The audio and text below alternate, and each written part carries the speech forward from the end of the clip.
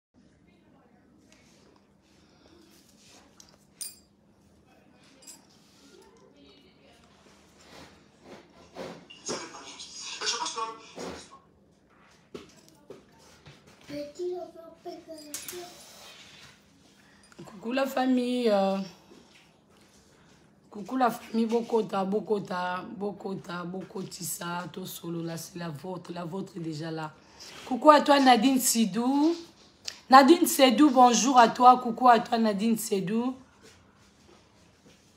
Coucou la famille Bokota, Bokota, Bokota, to bandi direct na biso.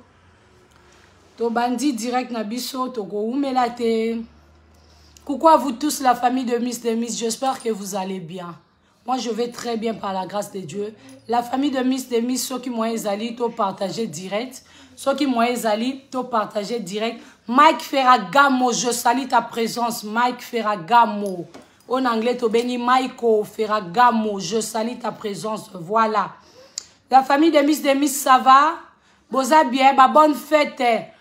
na ba chrétien nyonso ba joyeuse fête de pâque ba bonne fête de pâque euh, na ba chrétien nyonso oyo nyonso aza chrétien la vôtre alobi vraiment ba joyeuse fête de pâque oyo ya biso mokonzi abotami lelo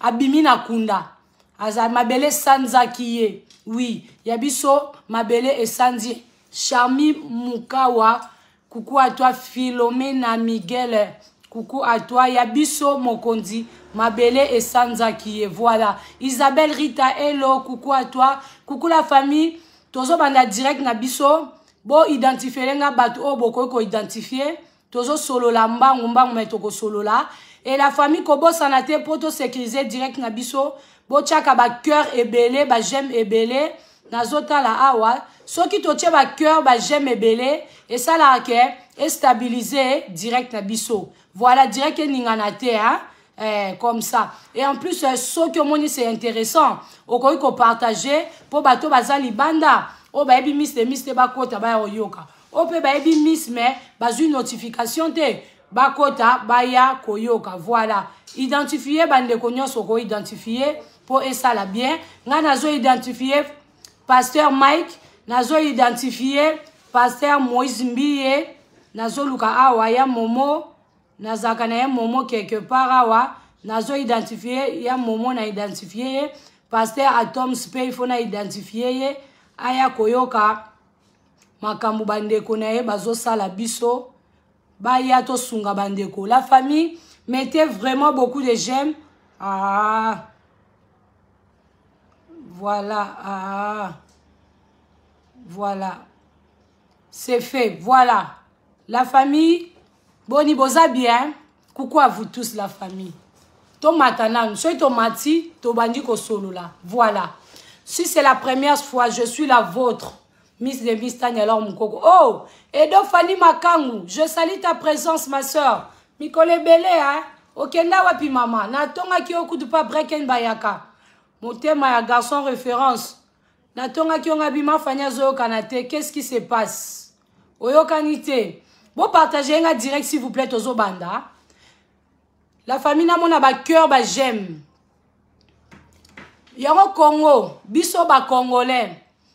tozangaka problème te nalongola no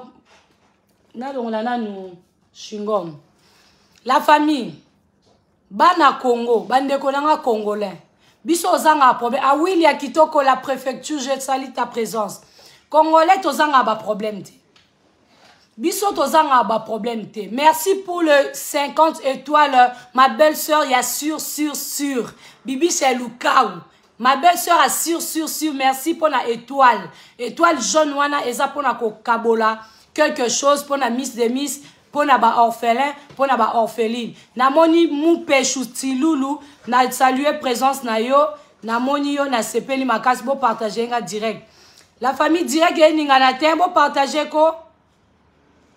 voilà bopartagele nga direct partage bobengela nga peuple toujours belle sœur na nga géraldine aya koyoka bobengela ngai boidentifiele ngai peniel mupenia boidentifie peniel malgre bolobaki ayokaka te aza motu aza leki aza mwana ifo ayoka akoyoka pourkui pa ayoka te akoyoka Bo partager lenga direct. Ba cœur eza ebele te la famille po ani boche ba cœur ebele te.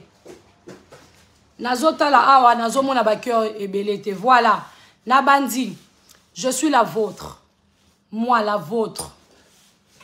Oui, Rachel et Kiwenge, merci beaucoup. La vôtre, Miss de Miss Tanya, alors mon coco est déjà là. Voilà. Soko zana batu, oh balinga, koyoka Miss Tanya alubaka. Benga bango. Vandisela ngai Papa Mike, vandisela nga Pasteur Moïse, vandisela nga Peniel na ban ya liboso. La vôtre, ana poso conseiller bango. Soki eza na batu misusu, oh ba conseiller bango bayoka ete. Nzamba kosa grâce à travers nga bayoka. oui parce que toa na posa bazongisa biso nsima te nana kanku oui euh, my juju de moi je salue ta présence toa na posa bato bazongisa biso na nsima te blandine ekatako toa na posa to avance voilà moto amona moke aza te moto abebe ya moto aza te toza na kati ya monde oyo mingi na biso baza esprit makasi na makambo ya nzambe misu baza très fragile e makambo oyo ekodistraire bato ebele soki bato bazokɔta na kati ya badistraction oyo makambo oyo la vôtre je pas vraiment besoin de parler de ça j'avais pas vraiment besoin de parler de ça mais namonaki que soki tozoboya ko baby tu dérange mon direct tu peux prendre le téléphone et puis tu pars e eh, hey, bana poto na téléphone vas-y ozwelanga mwana odérangele nga direct oyo eh, direct mte kokoma na ndako ya paster moïse mbiye eh, direct kokoma pa paster moïse mai kalambai peniel type papa ya peniel s'il vous plaît j'ai besoin de papa samba oyo aza pasteur samba le papa de peniel et puis la maman de peniel ferme la porte j'ai besoin de vous eh, mama peniel aza grande sœur mpo na nga nakozala mpe na mposa na ye tosolola oui c'est sérieux voilà bomatela ngai bato merci beaucoup léon kitoko voilà la famille tous les jours tolala tolamuka tokutana na makambo tozolala tozolamuka oani grâce happy easter to you aussi ma soeur tolalaka tolamukaka baproblème olala olamuka baproblème baproblème kuta bamusicien oyo tobengaka bango bango nde bandoki oyo tobengaka bango ke bango nde basatana bakofi olomide bango nde bandoki bawera nso nde bango nde bandoki me bawera bakofi na mabala na bango baoluka solution na mabala na bango ata emati ekiti balukela yango solution bayaka na yango na réseau sociaux te nani apesi bino idée basali na nzambe boyaka na makambo na bino ya vie na bino intime ya kati ya ndako boyaka na yango na réseau sociaux nani wana biso baoyo ba ordinaire biso baoyo bato moko tolobake normal soki mpe ordinaire soki normal tozobomba makambo na biso mis ne mis azobeta batriste réalité masolo ya bato nazobomba bakombo na bango mpo na koprotege identité ya mama to ya papa me ya bino bolingi bino moko toyeba makambo yango apres soki totelemi tobandi koloba bato babandi koloba babandi kofinga o oh, bino bozotelema kaka koloba makambo ya bato non bango baza bato oyo nzambe atie liboso na biso bango baza baza bato baza bahumain bakokweisama bakozwa baproblème oui mais il faut baancadre bayeba ndenge bazotambola bayeba mosala oyo nzambe apesi bango ezosenga na bango bakota na distraction ebele te makambo oyo ekokotisa bato ebele na baproblème na bavie spirituelle na bango lelo journée ya lelo eza résurrection ya mwa ya kolo yesu eza résurrection lelo journée ya lelo eza easter eza pake ifale biso baoyo toya kopesa nzambe na biso merci tokumisa nzambe na biso bokoti biso na kati ya distraction ouva le monde tala mokili oyo tala nde bokoti biso na distraction lelo eza journée oyo il faut pas mwana nzambe nyonso il faut pas lekisa yango kaka boye surtout bachrétien il faut pas kolekisa yango boye mais boye kodistraire biso ta place bolingi bomema biso tala place bolingi bomema biso na journal lelo tokokoma soki 20 heures mais bokoti biso na distraction bokotisi bato ebele na distraction bapapa na biso bapasteur balobaka mwana moke abetaka mbonda bakolo mpe babinaka mpo bango bato basala mpe balakisa leki yango donk voilà ngai awa natelemi nazoloba nazoloba na étant que une femme naoloba étant que une sœur en christ étant que humain donc naa na droit ya kolobela pasteur pasteur aza nzambe te pasteur aza oin de dieu aza moto nzambe atie liboso mais si ya quelque chose mpona kolobela bango avec respect toza na droit ya kolobela bango voilà yango ngai naye kosala naye kokondane te naye kofinga te naye kotyola te naye meme kogangela peniel te me ngai nazalaka toujours na nsima peniel mpo na kopesa ye conseil soki boyebi botalaka badirect ya miss de miss nayaka toujours mpo na kopesa conseil epai ya peniel naoswa na bino bien lelo lelo mpenza tosolola bien makasi parce que tomoni makambo ekomi oleka peniel pasteur mike waza zawadi nakota mpenza na dossier na ye te mpo epianga epesaka makambo ebele natiki na zawadi mingi mingi pasteur mike kalambai na peniel ale nakokotya mwa ingredient moke ya, ya pasteur moïse mbiye voilà bokotya nga basujet ebele te eobimisa nga etya nga badistraction eza mpasi mpe mawa nabandi nano na pasteur moïse mbiye e pasteur euh, mai kalambai papa nga naye koswana bino etant que sœur na bino bino boza banoko ya bana boza bapasteur na biso voilà tolongola yango te mpo eza deya bongo ata kutu tolobi ke nani yango aconsakraki bango nani yango boye oyo mosusu azosala mosala boye non tokoya kaka kopesa conseil papa makambo osala ezopesa soni papa makambo osala epesa soni toyebi ke diable ataka bino makasi toyebi ke boza ba humain toyebi ke boza bato bokoki kozala atake me bopesa soni bozopesa soni makasi nayebi te soki na nsima na bino bozalaka na baconseille te oyo bakopesa bino conseil par rapport ya babetise oyo ezoleka na internet e journée ya lelo bino basali na nzambe boyebi mokolo oyo toza lelo ipaki paki ya lelo elakisi nini bodistraire bana nzambe bokoti biso na loyenge bokoti biso na distraction yaya boza bato ya kosalaka barepatance sincère boza bato ya kozonga na sa makolo ya nzambe biso toyebi ke boza bato me bozonga no na sa makolo ya nzambe mpo nzambe atya bino liboso mpo na kokamba bana nzambe e na baeglize toyaka wana okomona baeglize plein bajeune fille kaka na bajeune garçon te bayaka bapapa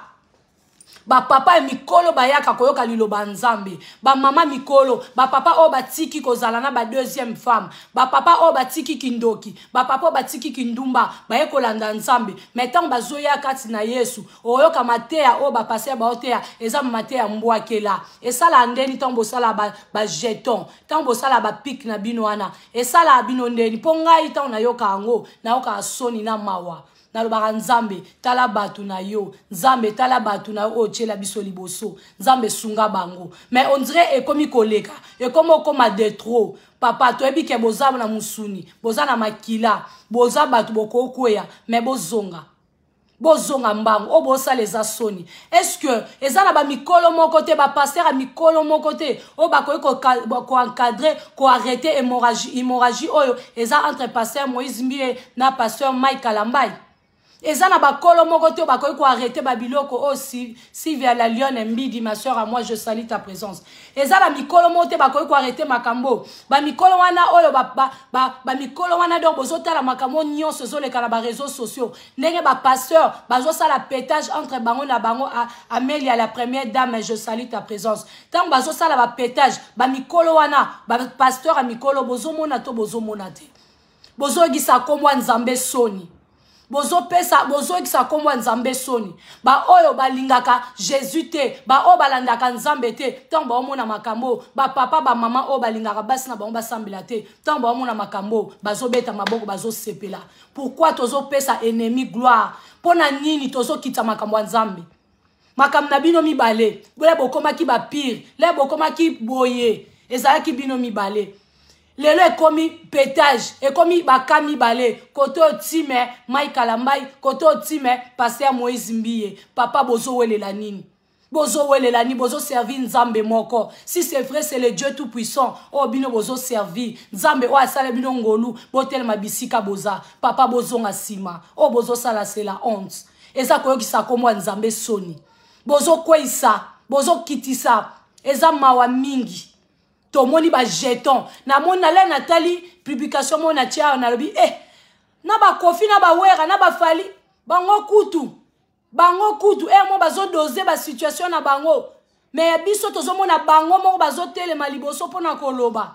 mpo na kotala ke moto aka moto eloko bozosala eza malamu mingi te toza na conseil ya makasi ya kopesa bino te mpo bakoloba ya biso kosimba ba on te oyebi te relation ya bango na nzambe oyebi te ntango bafukamaka ndenge babondela apa nzambe bokoloba kaka bongo boza mpe na bato na bino baokotela bino mais tozosenga na bino s'il vous plaît ya lelo saint je sali ta présence bozonga nsima bozokweisa kondima ya bato ebele bozoyeba te journée ya lelo eza journée moko topesaka nzambe merci mais tala makambo bino bosali soki bokoyoka na bino te wana ekotala bino me biso baoyo toyaka kosambela nzambe bato oyo tolingaka nzambe toza na droit ya koloba soki eloko moko ezosimba te toza lisusu na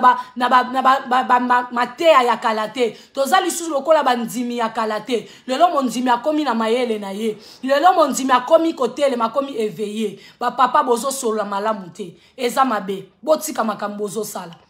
voilà naleki mwa mokie grâce eli de dieu paster mike kalambai papa mike na, pe, na mupeshi na mupenia peniel qu'est-ce qui se passe est ce que bino boyebi ke eza na basi ebele na mibali ebele oyo bakabwana na bamama bana na bango bazali na mokili oyo ntango mosusu boomona kokabwana bino nde eza somo to eza estra eske boyebi ke kokabwana basi ebele na mibali ebele bakabwana na mibali balukaka bavandisa basala terrain d'attente balukaka ke relation ezala malamu mpo bana bana kati nayokaki peniel ndenge ayaki koloba natalaki yango vendredi nayoki peniel ndenge alobi o oh, black light de moi ursule apeshanga black line coucou à toi ma soeur à moi bisous Bisous à toi Ursule Peshanga Black Line de moi. Tozana, je salue la présence de Ursule Peshanga Black Line. Voilà. Naye koswa na frère Mike na Peniel. Peniel na frère Mike. Vendredi na talaki direct. Oyo Peniel asalaki. Peniel apetaki, Peniel agangaki, asalaki oyo asalaki. C'est vrai Peniel er moko a débordaki. Mais pasteur Mike na ye naloba. soki peniel apedre ndenge apedre bongo papa yo oza mobali oza un mosali na nzambe deux oza mobali trois oza frère chantre de l'éternel papa ifale ozala na maîtrise maîtrise wana ozangi yango esali bien te erenverse e, e, e nyonso osali mabe makasi papa frère mike osali mabe makasi nayebi te papa na ngai soki nabombi nayebisi yo yango te nakozala hypocrite il faut nayebisa yo papa ndeti nga personnellement nabetisami mabaku obeti nga mabaku etant ke mwana nzambe obeti nga mabaku papa bino boteyaka biso humilité précède la gloire fo komizala na komikitisa il faut kozala na komikitisa il faut ozala boye papa okomikitisa wana tomoni yango te liboso ya peniel oyo aza mama bana tomoni yango te papa esali mabe makasi papa na nga osololi vraiment bien mingi te papa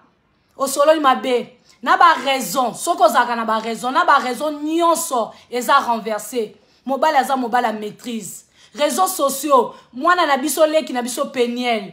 azosalela age azosalela temps azosala bacrise parce que azalaki na bolingo na yo je vous dis la vérité azalaka na bolingo na yo peniel imagine mwana oyo soit disant bolingana na age ya 17 ans bolingani na age ya 17 ans na 17 ans toyebi bana mingi penial alobaki yango azalaki vierge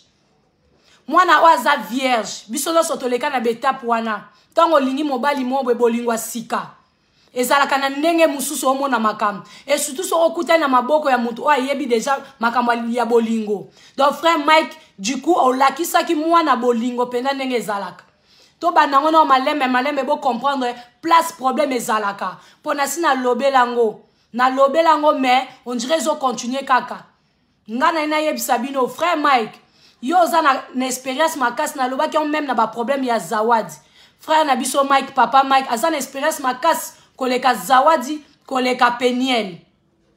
ntango tolingaka mibali pour la première fois la famille boyebi feeling wana boyebi puissance wana boyebi moto ya bolingo wana surtout soki okutani na maboko ya moto ayebi bolingo eloko esalama pa ya peniele peniele akutanaki na frère mike donc azwaki bolingo motema mobimba apesa ye frère mike la famille fo toke malema lembe bokomprenaka tokondanaka kaka te tojugeaka kaka te botalaka laule ba blesse tobandaka mpenza na source la vôtre ntango asalaka baanalyse eh, eh, baanalyse eh, sage baanalyse intelligent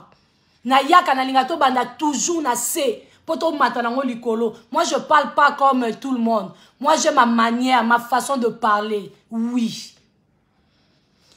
Peniel tango balingani na frère Mike nasi la cocotte euh, la grande sœur de Tania Lor Mukoko je salue ta présence frère Mike na Peniel tango balinganaki Peniel ayebaki na makambo bolingo te soki bobi Peniel asi ayebaki makambo bolingo ayebaki mama molingo bolingo entre bango na bango bana poto bango na bango bana bakoto na maboko ya bacongolais frère Mike aza mobali na ye ya liboso parce que biso tozalaka wana mpo na kojuge miss yo ozalaki wana azalaki deja devierge alinga deja mibali yango nalobi ke ok soki alinga deja mibali peniel mobali oyo alinga eza bana bakoto bana poto du coup peniel mobali na ye liboso oyo alinga eza frère mike kalambai papa mike oza na sagesse oza na expérience ebele liboso ya mwana wana eh, peniel ozalaki na autorité makasi liboso ya peniel frère mike azala déjà chantre frère mike azala déjà kosalela nzambe frère mike alinga déjà basheri ntango akoti na vie ya peniel na ndako ya bapeniel donc papa ya peniel oyo aza papa na biso que je dois beaucoup du respect aza mpe mosali na nzambe ntango abengisaki frère mike na ndako na bango na konti soki ya cité bete na konti ya église donc eh, peniel asentaki ke frère mike aza na impact aza na impact aza mutu moko boye pas comme les autres donc aza mutu moko papa atielaki ye mwa miso aza mwa mutu moko boye donc biloko wana nyonso ejuaka barole nabetela bino deya lisolo ya miss de miss ngai ntango nakutana ye na kofi olomide ajuaki mpe role moko na vi na nga mpo aza deja star Voilà, salaka lokola yo ndeko mwasi mwana na akutani na Rihanna, yo okutani na Michael Jackson face à face, oza na ba réaction mo boye. Bomona na ba concert là bat bakenda ba concert. Omona bat bazo kweya ba evanu, bat bazo kweya poani, aomona star na ye akoki o maîtriser te, mutu mususu akweyi, mutu mususu asali onyo sa ko sala. Voilà, eloko ekomela ki pa ya mpeshi eh, peniel yango wana. Peniel tant balingani na frère Mike. natali age te so tobi 17 ans balingani ntango balingani na peniel babimi ntango babimi soit disant nde toyoki masolo ntango babimi na peniel papa e mama bamoni ke mpo tosauve po mpo tosauve respect d'unité ya mwana na biso il faut mobala sani aya kobala ye Je salue la présence de Z plus en coltant un bon tonton de Miss de Miss. Tango mo peniel ba lingay na frère Mike, frère Mike ba komi ko bima. Et tango ba ko bima ba wumelite yoka ba sali kaka ba 6 mois frère Mike ba ko bonga ma frère Mike a ko bala peniel. Tango frère Mike a bali peniel, eloko la vôtre alobaka. Tango ozo sala olingi o s'engager na relation moko boye. Il faut ko luka ko yeba mutu wana za nani. libala ezalaka kikope kopini te basala etape ya fiançai mpo na nini parce que eza etape oyo mutu ba deux personnes bayebana bazwa temps sara rose il faut kozwaka temps ya mwasi na mobali ya koyebana kozwa temps kosolola kozwa temps ya koyebana biso na bakongole biloko wana elekaka mingi te soki osi otie mutu zemi omoni ke il faut babala nga to moto wana bakende kobala ye ozobosana ke ntango okokota na kati ya libala eza na vie mosusu oyo ezozela yo voilà yango tozokɔta na bamonda si je savais bato ebele baza renverse na mabala na bango mpo baconjoint na bango bapartenaire na bango bayebanaki malonga te voilà eye kosala ke peniel na frère mike balingani basali makambo nyonso basali babalani euh, tête rouge botya bacoeur ebele batête rouge babandi deja mosala na bango voilà batête rouge botya bacoeur bacoeur batête rouge babandi mosala na bango na service na ngai oyo nafutaka bango te wana babandi yango tokos ntango babandi bolingo frère mike na peniel basali bolingo baye kobalana ntango babalani eye kosala ke ntango ba ntango baye kobalana baye kobalana bavandi baboti bana nde basali e tozala bato la famille combien entre nous mobali na yo ya liboso bolingo na yo ya liboso yaya tovanaka na bacouple toyebaka eloko ezozela biso te soki bamama soki papa azwi temps te ya kokonseye mwana oyo ngai naloba yebisa mwana le bien et le mal oyo akokende kokutana yango na libala koloba na mwana kaka te kosepela kaka te ke nabalisi nabalisi me eloko mwana kokende kokutana na libala ayebi te il faut koprepare bana il faut kozwaka temps ya kosola na bana bana bazobala eza lokumu eza bien me estce mwana oyo azokende libala estce aza prepare bana poto na biso na kinshasa toza différent biso touti na congo toza na bamanière toza na bafaçon na biso tozwaka makambo mais bana poto baza na bandenge na bango bazwaka makambo c'est vrai ke bana na biso ya poto bazalaka bateti ba bazalaka baimpoli bana na biso ya poto mingi bazalaka oyo balobi yango bango bakosala nayebi yango nga mpe naa na bana basi bakoli bana na biso ya poto bazalaka oyo bango balobi yango bakosala mpo bango bazala kwa mindele mais soki akutani na mama moko responsable soki akutani na mama moko oyo ayebi koencadre ye okoki koencadre mwana yo c'est vrai mwana akozala na badefaut akozala na baerreur mais soki aza na encadrement aza na encadrement ya papa to ya mama en tout cas mwana wana akokola malamu mpe libala akokende ata akokutana na baproblème mais akozala na bafondement akozala na, na, na, na, na beton moko ekovanda na se ya libala na ye e namonaka on dirait peniel arataki yango la famille peniel arataki eloko wana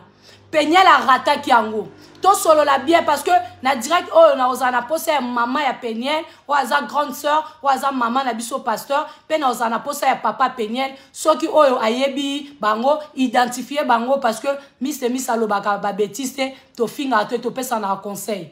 eloko nalobi sikoyo peniel ntango akoti na libala akoti na libala ya bareve na bango oyo batalaka bareve na bango ndenge amona mama na papa na ndako ndenge amona baseur na bafrere na eglise na bango ndenge amonaka baanti batantine nde bavivaka akanisaki akokutana na libala moko nyonso nyonso eza bien erreur eza te nzoka na libala erreur ezalaka nzoka na libala ezalaka na bamesatonde ezalaka na baincomprehension ya mwasi na mobali mwana na biso ayebaki yango te elere akoti na kati ya libala aye kokutana oyo akutani na yango akutani na mobali abetaka ye akutani soki akanga mobali na makambo akanga mobali soki alinga cousine na ye akanga mobali na babasi ebele ebele eh, peniel mobali azalaka nde kaka mobali topesaka bango conseil totyaka bango na prière mais en lui-même mibali baza baetre moko bazalaka un peu faible koleka biso na masolo ya bolingo bango baengagement bayebaka mpenza mpenza korespecte engagement ya mwasi na mobali te eza na mibali mosusu oyo barespectaka soki avandi ya na mwasi abi mwasi na ngai yeyo me eza na mibali mosusu ata aza na mwasi me abwakaka mpe misu libanda mosusu mpe akolinga te mazotala boye lokola ndako ezika me penial ayeba ye biloko wana nyonso te libala eza eloko aventure te libala ezalaka matata me toyebaka kaka komaitrise toyebaka kaka kobimisa bastratégie toyebaka kaka kobongisa mpo tovanda na libala malamu epenial ntango akoti na kati ya libala aye kokutana na oyo aye kokutana na yango e na kati ya libala wana azalaki na maîtrise na yango te akangi motema akangi motema surement baparent mpe balobaki kanga motema libala ezalaka kaka bongo libala esalaka kaka boye me mwana akangi motema akangi akoki te abetami asali oyo nyonso aloba yango ebima oyo nyonso ebimi apanzani na libala mpo mobali azalaka mobulu toyebi yango toyokaki yango ndenge ebimaki voilà mais est ce que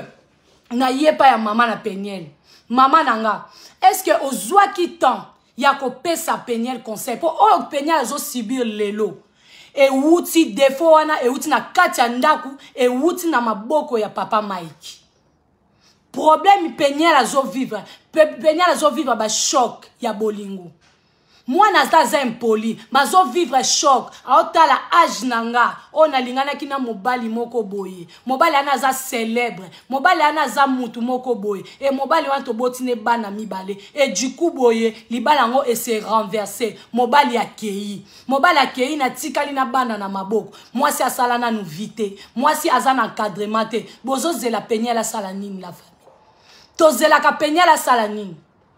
peniel akota na libala moko oyo nano azwaki ntango osala vite e libala na ye ekomaki renverse e ntango ekomi renverse aza na mposa ya support ya bato oyo bayebi masolo ya libala bato oyo baza na bamanière oyo baza na babonne route bato oyo bayebi nzambe mpo bazongisa mwana leki na biso na nzela ya malamu toza bato toboti bana toza na bandeko na biso toza na bafamille tomona yango na kati ya bafamille na biso yaya boyebi makambo yango ndenge elekaka ozalaki na mobali moko boye sheri moko boye olula okraka sheri moko boye ya bomwana bolingo no ya sur sur mais ducoup boye yo na garçon wana bokabwana combien entre nous tovai na mabala mai tokanisaka toujours babolingo na biso wana ya kala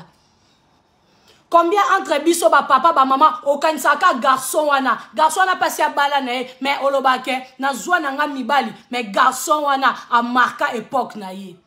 tokondana te la famille Il ne faut pas condamner Japonais Watalenzulu, câble beau-frère de moi. Je salue ta présence et motema chacha mon coco. Voilà. Il faut te comprendre, Makamu, la famille.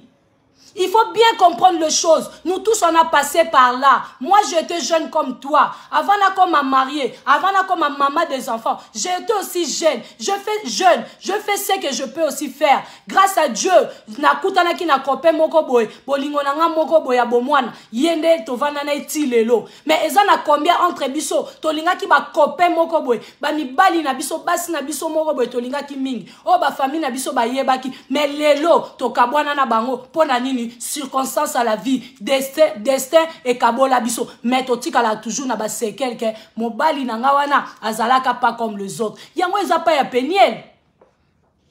eza pa peniel nzambe asunga peniel peniel mama oza wana il faut zwa contrôle il faut zwa temps ya peniel makasi peniel azosalela kimwana moke azosalela kimwana poto azosalela makambo nyonso ezosalamela ye soki totiki peniel fani ndala soki totiki peniel mwana azokende mabe mwana azokende mabe la famille ntango nabanda kosala baanalyse ya peniele boyoka ndenge nalobaka nalobaka mabe mpo na mwana te nalobaka mabe mpo na peniel te pourquoi parce que peniel azosubir moto ya bolingo bashoke ya bolingo arate eloko moko na vie na ye attendez la famille mwana agrate eloko moko na vi na ye motu nyonso alingaka ntango akoli atangi classe na poto mwana moko boye aza mwana ya pasteur atangi baklasse na poto quelque soit mabe na bango mwana ntango azokɔta na mariage bahonore ye aza na mposa avanda na kati ya libala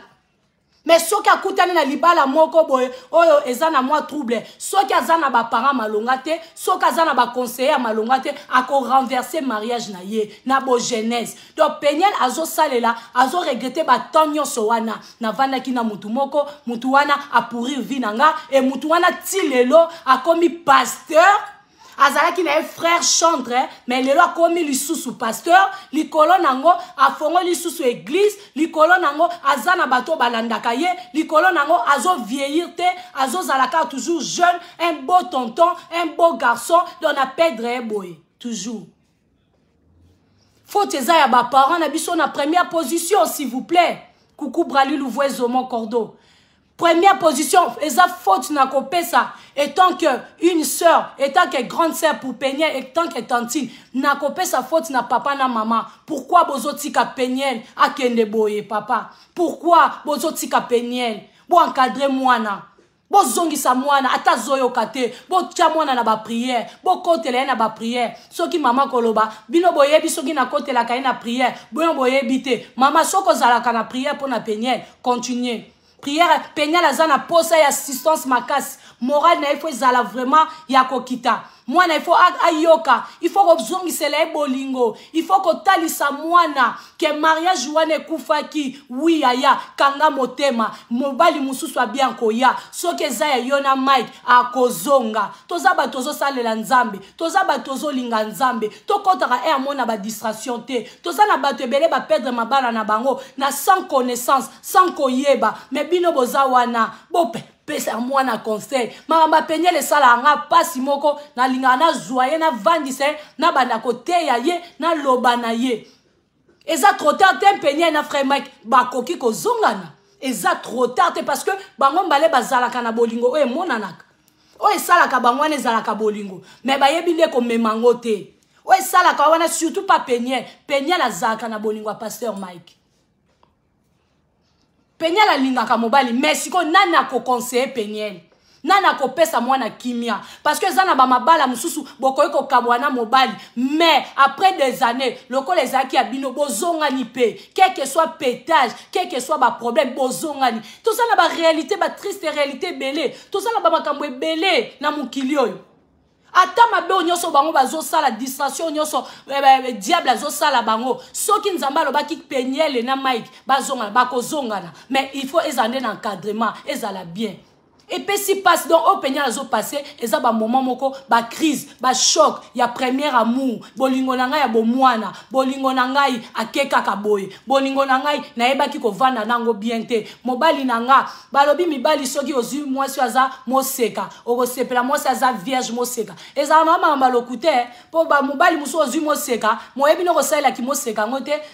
mwasi ye wana nzoto kitoko soki ndenge nini ye wana atikali donc ça n'a rien à voir na mwasi azala moseka na moseka te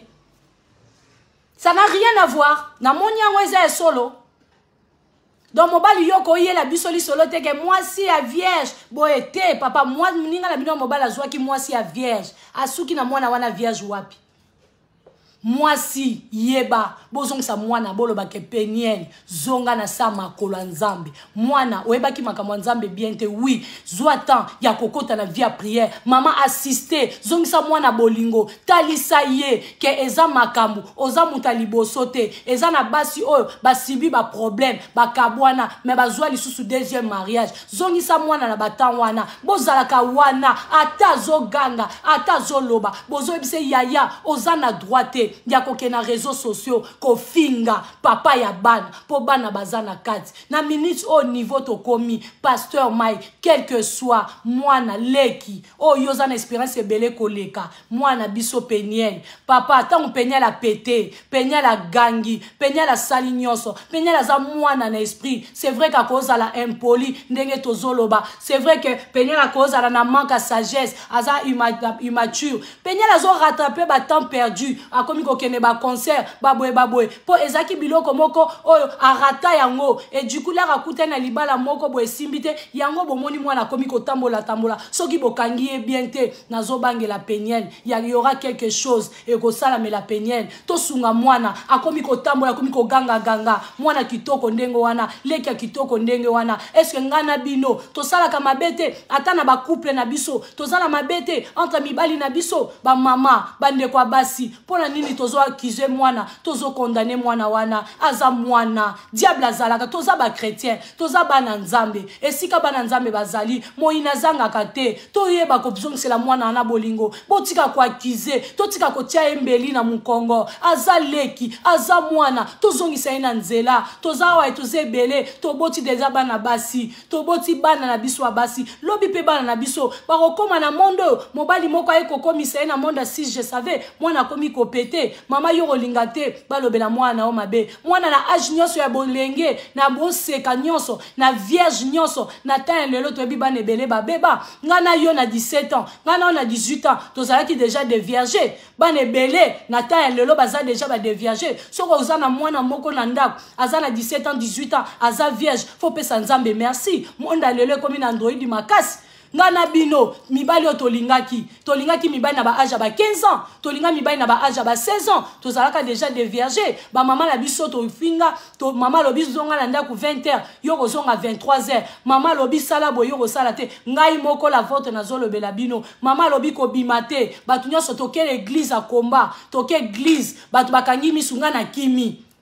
mama aboyaki ngai te papa aboyaki ngai te bazalaki wana mpo na kokonseye nga lelo nakomi oyo naza lelo nazopesa mpe conseil mpo naleka deja na baetape wana pourkui tozokondane eh, eh, eh, peniel mpo na nini tozo accuse peniel bamama toza na bana na ndako bana na biso bagangelaka biso bana na biso base comporta mal awa toyebi pourquoi tozo accuse peniel c'est vrai que likambo na eye na réseau sociaux mais tokoki koboma peniel te topesa conseil tozala wana mpo na kobondela mpo na ye na bacommentaire na biso topesa bacommentaire moko ya malamu nzambe sunga peniel mama sunga peniel papa sunga peniel peniel calme toi peniel ça va passer avec deux enfants na maboko c'est pas facile moto azalaki vierge bandeko na nga tozalaka o bato moto azalaki vierge après tonton moko boye akomi kobima na ye après ewumeli te bazwi ntango koyebana te babalani après du coup bavandi ensemble après babandi kobota yaya ozosala makambo ko oyebi te baboti bana mibale e, e, e, après mobali akomi kobeta akomi kosala bacaprice oyo mibali na biso ya ngai na yo oyo basalaka mpe na bandako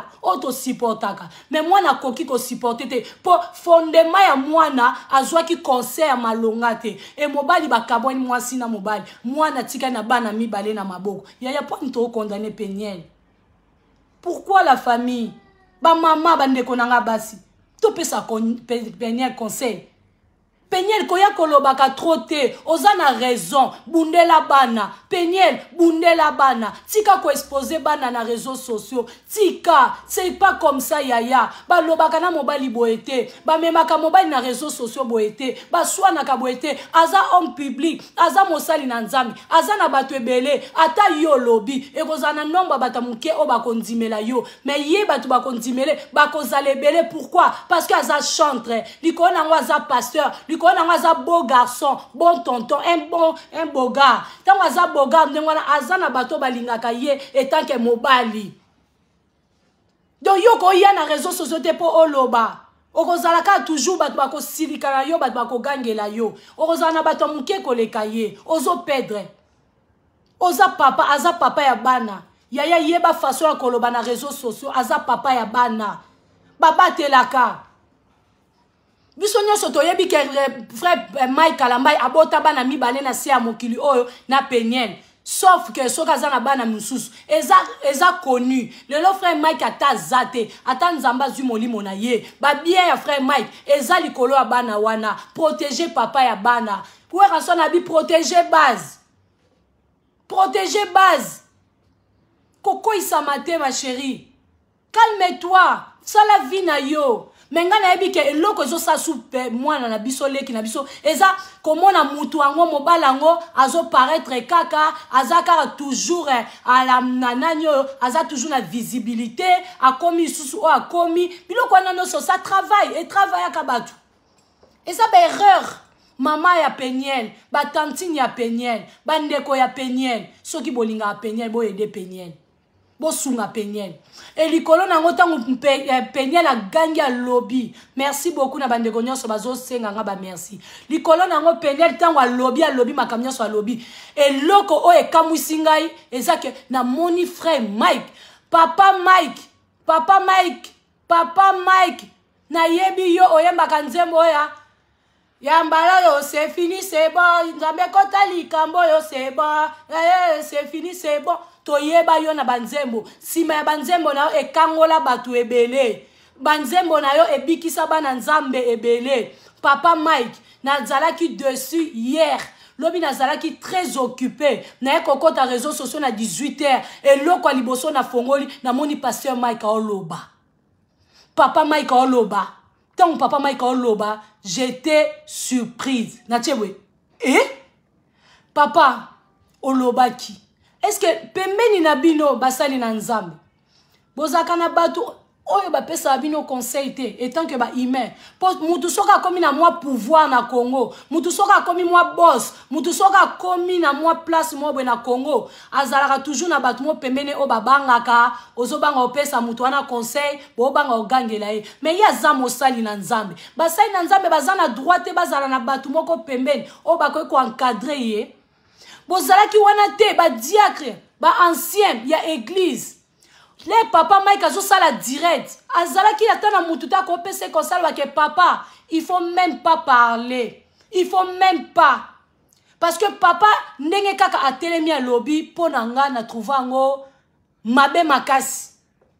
parce que wana aza mama ya bana na ye makambo ya zawadi awa euti kokita emati ezongi ekeye esali zawadi makambo nde euti kokita emati ezongi pase mike ayaki kona koloba te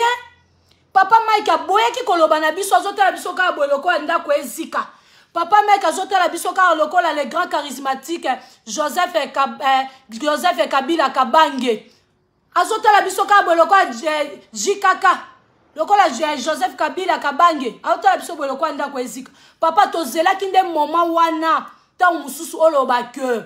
mwasi zawadi soki nini soki lokuta soki nini papa olobaki te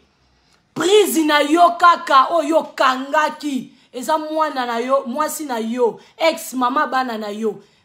penielle mama ya bana orépondre ye liboso ya tele non papa vous avez mal tapé vous avez tapé à côté eza foti kaka na yo te foti ya bato baza pembeni ya pasteur bopesi papa conseil ya malamu te vous êtes pas gentil bato wana nyonso papa après direct oyo oh, solola na bango il faut bakota baprière repatant sincère na miso ya nzambe mosali na nzambe boexpose ye mosali na nzambe botiki ye aloba oyo nyonso akoloba likolo na yango bana bazali et ce que, ce qui est grave ce qui est grave ce que papa asali mabe alakisaki ntango azoloba na santaki frère mike abimisaki colère parce que papa mike na, na po, po na ye po bango bato bayebi ba vraie version ya makambo oyo biso toolobaka oyo toomona mais kati ya makambo oyo bango mo bayebi ayebi ke bato baza na nsima ya peniel oyo baosala makambo oyo papa ayebi yango ndenge alobi mais vrai mike soki oyebi papa ifo ozala na, na réserve fo ozala na maîtrise tika nzambe abundela yo kaka ndenge otiki biso na makambo ya zawadi ke nzambe abundela yo tomoni togangi tolobi ya na bareseau sociaux ekomelaka bino na matoi oyoki ndenge bato basali baanalyse ndenge bato basali badirect ndenge bana nzambe balobi oyoki oyebi yango mpo otalaka internet otala yango makasi mpo oza moto oza na droit mais olobi na biso eloko te mpona poema zawadi olobi eloko te e, eloko beti biso kaka ya suka eza ke tomoni yo na eglise olobi ke pembeni papa moto avandaki papa biologique na yo papa na biso oyo toza na respect makasi olobi ke otiki nanu pour le moment oluka nanu elonga nzambe okota priere na makambo ya zawadi okoti priere ndenge nini na makambo ya mama ya bana mare ya bapetit papa okweisi mobali ya moto ya charisme biso toyebi yo ozala na mwa bacharisme na yo oza na mwa kimoluba mwa moke na kati na yo mpo oza moto oza na badroit biso olinga surtout biso basi tolinga mibali fo bazala na bacharisme yango omoni esala mpe mwa mopenia ke mobali moko boye ya charisme akeka boye oui biso basi tolinga mobali fo azala mwa charisme fo azala na mwa bien moko boye azala mwa ba aisance moko boye mobali moko boye likolo nango ayebi su nzambe esala waw eloko mupeshi eloko mupenia azoyoka vertige yango wana oza na bakalite mpena ya bagarçon o oh, biso basi ebele tolingaka me opedre yango kaka na temps moke obimisi maseke tout mpo na mwana na biso leki na biso mama bana mare ya bapetit te okoki orépondre mare ya bapetit bongo te papa eza lokola oza lokola oya ogangela mwana leki na biso na miso na biso bamama tooyoka tomoni yango malamu te toza bamama ebele tosepeli na yango te papa esali mabe makasi e, eloko epesi ngai bisu mabe makasi papa opedre par rapport ya direct osala elobi ntango boganga ntango ozosilika ntango ozotelema koloba papa obosani mutu oyo yo oservaka maître na yo mokonzi na yo nzambe wana azalaki wana azotala yo ndenge ozosilika ndenge ozobimisa eza kofongola porte bino boza bato oyo ya kofongolaka porte na publike pambapamba te bozalaka wana bozalaka deja combattu ebele boza na mposa bato moko boye ifo baza pembe na bino bato moko boye ya bien mpenza mpo bayebisaka bino makambo oyo boza na droit ya kobima te bobandaka kopanzana panzana nord e likolo na yango mwana leki na biso peniel alobi akoloba afingi agangi akoti bakombo ya bato oyo bazotelema mpo na koloba mpo na kokɔta likambo ya mwasi na mobali makambo ya bino na peniel papa nesprit ya bien biso baoyo ndeti ngai la vôtre ndeti ngai tani alor mokoko miss de miss naokɔta yango makasi makasi te mpo boyebani banzoto makambo ya bolingo bakota yango makasi te mpo bato wana mibale soki bayebana banzoto bamonana deja bamitakala ba yaya okokotana na loyenge te mpo eza makambo ya libala makambo ya motema tokoya kaka kopesa conseil tozoya kaka nde kopesa conseil biso toa na droit te ya tya bino na ekulusu kobeta bino marteau non on n'a pas le droit tokopesaka juste conseil ata conseil yango ekokomela yo te mais ekomela bato oyo bazoleka na bamoment oyo yo yo na peniel ndeti ya yo na peniel eza na bato ebele mpe bazoleka bamoment ndenge ya yo na peniel ata bino ekokomela bino te bango bayoka mpo babeneficie ata na conseil oyo bino mibale boyebani nzoto boza na bana na kati bokolekisaka te na bareseau sociaux okoma déjà homme public faut se maîtrise ozala bacharisme makambo ya bavaseline emataki ekiti bato bagangi vaseline bato basali bapiblisite bato baseki bato bagangi bato balobi papa tomonaki direct te ebongo makambo ya mare ya bapetit apete mpenza na direct papa yo oye korepondre ye ah papa biso toyebi bino mibali bwa bato ya bacharisme mobali akoya na tele te obanda ko kolobela mwasi mare ya bapetit esali vraiment mabe makasi e eloko opedre oyo esali nga mpasi etant que une femme etant que une maman deja peniel azwa deja kosala ko biloko moko azo expose bana mais aza na mwa basagesse peniel azala mwana moko azala na mwa bamayele na ye moko boye aboyaka kolakisa bana na ye na bandenge moko boye ya mabe na bandenge moko boye mais papa un papa un bon papa papa tu te, per... tu te permis nayebi te na français nakoloba yango vous êtes permis ose permettre otelema ozoloba ozwi bafoto ya bana pasteur mike olakisi biso na réseau socio bana papa ozo accuse mama ya bana na bafoto ya, ya bana ozo accuse mwasi ozogangela peniel olakisi biso bafoto non papa okokaki kolakisa biso bafoto ya bana te okoki kolakisa te boprotege bana bana wana baza na mposa ya protection ya nzambe mpe ya bino baparent na bango bana baza na droit ya, ba, ya baprotege bango bino bokoma deja bato oyo bokenda deja na kosamba bokoma deja na problème ya cote bokoma deja na justice boprotege bana bongo ata justice yango ya poto e omona te badirect oyo bozosala nde bozolakisa bafoto ya bana bana baprotegeaka bango papa na nga oyebi yango bien diable attaque beaucoup les enfants diable atakaka mariage le mariage ezalaka vraiment attaqué e soki bazwi bino te baza na facilité ya kozwa bana soki bamoni bino baparent boza porte ouverte papa yo oyebi yango botangisaka biso boteyaka biso peniel ta mosusu akoyeba te mais papa yo oyebi papa oyebi makambo yango mais pourkui bozolinga bobomela biso bana na biso ya kitoko bongo na communauté na biso tobungisa bana na biso ya kitoko bongo bana babotami na poto oyo baza ba innocent bozotala lelo mais bozotala lobi te nazomona eh, nani eh, oyo ya mokola mobali babenga nini ya mobali babengaka nkombo nini bana bakombo na bango nini nabosani la famille mwana oyo ya liboso shadai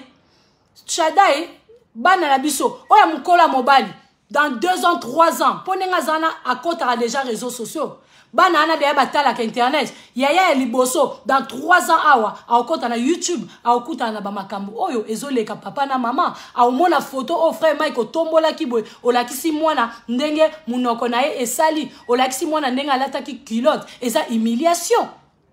eza humiliation devant bacamarade na ye devant bato oyo ya kokutana na bango papa bana wana bakotuna bino ça fait trop mal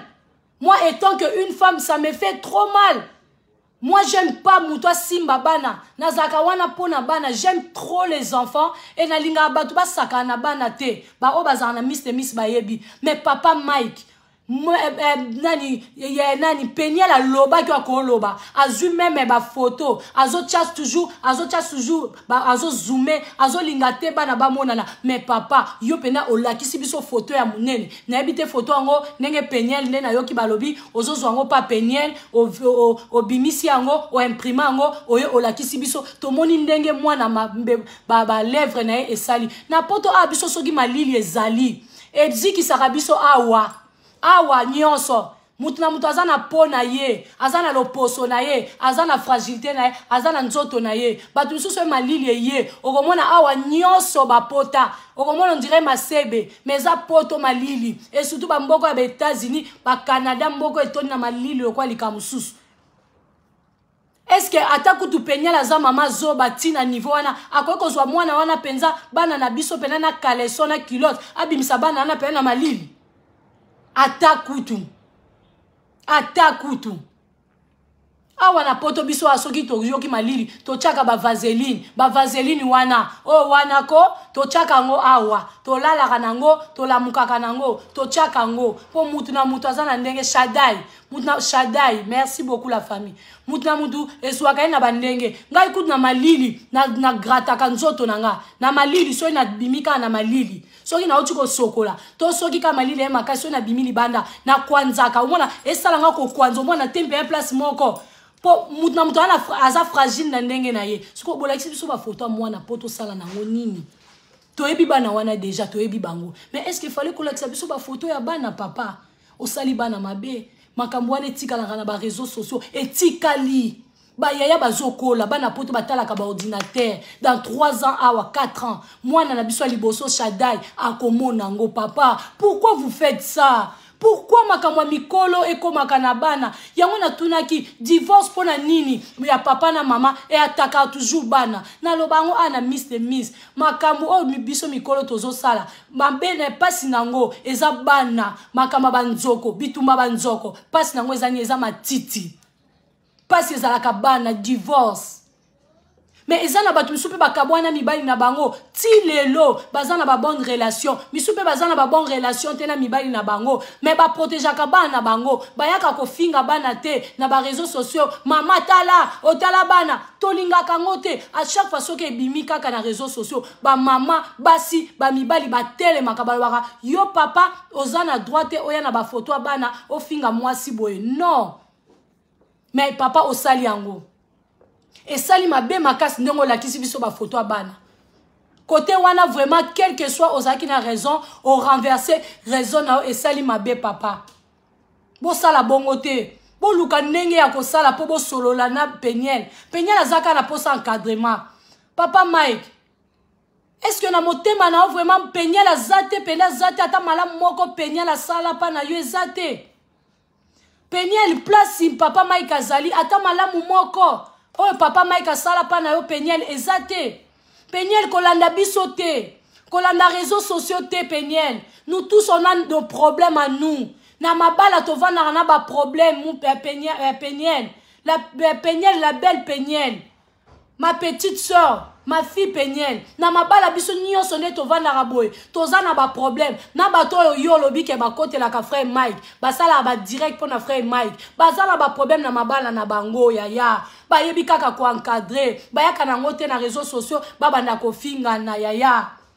bokanisa ata babolamu moko oyo frère mike asalela yo yo mpe eh, papa mike okanisi bolamu moko oyo peniel asala likolo na yango bakisike boza na bana na kati botika koexpose bana yango bozolinga kotekela biso bana babomela biso bana to nini boza na mposa bana oyo bayiba bango to nini toza baafricain toti na bafamille africain papa mike oza na bapapa na yo oza na papa na mama en vie bapapa bakolinga te basala yo mabe yango balekaki mpe na bareseau sociaux namonaki mama ya frère mike alekaki na réseau sociaux mpo na koprotege frère mike oyo aza mwana na ye mama nyonso azalaka wana mpo na koprotege mwana na ye mais pourkui bino na pa na bino bolingi koprotege bana wana te shadai na na nani oyo shadai na mosusu wana boboti mpe bana kitoko boboti mpe bana kitoko combien de basi combien de mibali combien de bacouple oyo bazoluka ata bana ya koluka bazozwa bana te biso na bino soki nzambe apesi biso bana toyebaka kobatela bana ngai nalobaka ngai nde naza boye na mpe na bana bana na nga mpe baza bien na ndenge na bango basalaka mpe makambo ya bien nakoya na bango mpe na réseau sociaux mais nayaka na nga na bana te mpo na comprena que biso le cœur de l'homme est torturé biso moko bamikolo tolinganaka te tozuti na bafamille oyo tolinganaka te naye na bana na nga na etale bango mpo na nini mpo bazwa bango bien non soki balukaka biso bazwaka biso te soki motu moko akombataka biso azwaka biso te akokita na bana toprotegeaka bana na biso na makambo ebele toza baafricain toza mindele te c'est vrai bana na biso baza na bareseau sociaux mais baza na bandenge na bango bazwelaka makambo tozalaka na mposa te toya na bango na bafacebook a otya bango boye ofinga boye osala boye kaka moto akofinga yo eza moto aza pembeni na yo ntango bozoya na bafoto ya bana ntango ozoya kolakisa biso shadai tala ndenge aza boye shadai aza salite oyo wana kutu ya moke tala kutu ye kutu apolaki nzoto mobimba ntango ozoloba bongo papa yo oza papa na bango jade fumu ya zeland je sali ta présence ntango yo ozoloba bongo ye kutu abebaki nzoto apolaki yo oza papa na bango eza soni papa azo expose bana boye yo kasi na bandako na biso bana na biso babelebaka makodia te babelaka banini te banini te estce kobela ya kodia ya nini nakoya nango na réseau sociaux so toswa na mobali mobali alakisa foto ngai personnellement soki mobali na nga aye na foto ya bana na nga ke na réseau sociaux tokabwani otania oh, tala bana ndenge baza salite papa akofutelango ma bakofutela yango amande ya kosakana te ngai soki mobali asali nga bongo akofutama la famille de mise de mise boyebi ke la vôtre mobali na ye mpe atalaka nga mobali na nga l'infinitif juve asimba le cœur de mise atalaka nga nga naka hypocrite te tosololaka tozwaka temps mon mari ayebi nga makambo abana nalingaka te donc soki mobali aye yango moi nalingaka na conseille bana na conseille ya bato mingi e soki namoni mwana mwa boye olingi obungela nga soki nini nakotika e mwana wana oyo ya biso oke kolakisa bafoto soki ngai nazalaki eh, peniele na oloba kutu su mingi te ekomi sikoyo bafamille mpenza babengana basolola likambo yango omoni bamayele peniele anango bezwi yango oyo koloba sur eloko te peniel il faut pas koloba sur eloko te olobaki olobaki mabe peniel ozalaki na bamanquement moko boye mpe olobaki opedraki mpe obimi opedraki contrôle ozalaki mpenza na barespect te bon eza kanda olobi ke bana bazosimbasimba bana na sexe ya bana bazosimba na ndimi ok problème te lokola bino bozomema biso na bareseau sociaux problème te bosia na réseau sociaux mais papa mike nde adefendre likambo wana mabe likolo na yango abakisi bapreuve ya bafoto ya bana oyo akokaki jamais kosala e soki penie ndenge esalami bongo il faut plus parler zowai zion zion zion eh? ntango peniel papa mike alobi bongo peniel koloba esu ebele te solona na baparent bosolola bobengana na mama ya frère mike yaya bafutela yango eloko basolola ntango mosusu ntango bokosolola na ndenge ya wiclo na ndenge ya famille ntango mosusu mpe kozongisa bolingo na bino mpo bolingo ondire batiktik na bino ondire bwana na batiktik na kati ondie bwana mwa babolingo moko boye nazoyeba te soki mobali moto azwaka na, na, na posa mwasi soki mpe koto mwasi moto aa na posa nayo ya mobali naomona ondie mwa batikitiki ba moko boye eza na kati ya babolingo yango ezawa ya, ya peniel ta yango oyo ya koluka kovandisa famille papa mike eloko asali aseskize nango bolanda babeze oyo te eh? biso toya wana bato bakoya bajuge oyo bafingi yo ozosala base na bana na bana basala base te les enfants baza ba nos entrailles bana baprotegeaka bango boyaka na babese na bana te ntango ozoya na bana oyo expose baosala bana mabe mpo balukaka bino bazwaka bino te oyebi pasteur mike akoma leo kosambela akoma pasteur oyebi pasteur mike combien de personnes oyo ye azosala badelivrance oyebi combien de personnes pasteur mike azoteya yo okanisi enemi akotika paster mai kimia akobundisa ye peti me sikoyo ntango bino mo boya kofungola baporte bana na biso boprotege bango pardon toboyi problème likolo ya bana na mibale bana ntango bazalaka na libumu bazalaka ya mama bazalaka ya papa me ntango babima bakoma bana ya bato nyonso biso soki tolobi biso communauté congolaise tolobi soki bana likambo ekoyela bango te na nkombo ya nzambe me bana wana soki tomoni likambo ekomeli bango yaya ekoyinda ekozala mpena lelo lelo libeba ye lelo donc tokopanza tokopanza tokopanza tokokɔta mpena na lopango topanzi tokoti mpena na kati ya lopangu na ndako mpenda ya peniel topanzi toke kuna na kinshasa na ndako ya frère mike eglise tokosimba te na ndako ya frère mike topanzi soki bana wana lelo bazwi problème mpo toomona nde papa na mama bazo expose bana e likolo na yango bookende cote bookende kosamba ba juge wana nde bozo ba ba, ba, ba madame soki le juge soki ba madame nini bazomona ndenge bolasa ba photo ya bana est ce que eza normal tête rouge tête de mort soki olingi nao makambo tooloba te bima na yo nga lekisaka batala makambo ya boye te nga place na ye naotala direct mo boye namoni betise naobima na nga na olinga na ngai nazala lage te na olinga na ngai nazala soki ndenge nini te mpo yo moto otala yango omona nga ngai na omono te donc oya te otya barouge moko boye olekisa lere non wana tooboya nde baimmature makambo miss de miso oloba baimmature yo tete rouge immature moto ayebi yo te aomono te aoloba makambo na ye soki osepeli nango te kende